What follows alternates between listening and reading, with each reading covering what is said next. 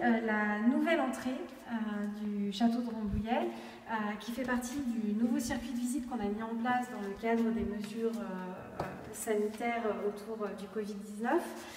donc les personnes maintenant auront accès au château par les extérieurs. Il n'y a plus de billetterie sur place, ça sera uniquement de la e-billetterie.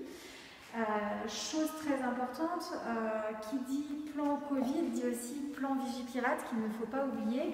Donc on aura ici le, contrôle d'accès avec un portique de sécurité, le contrôle des sacs, le contrôle des e-billets, euh, et puis ensuite les visiteurs feront tout un parcours à l'intérieur du château.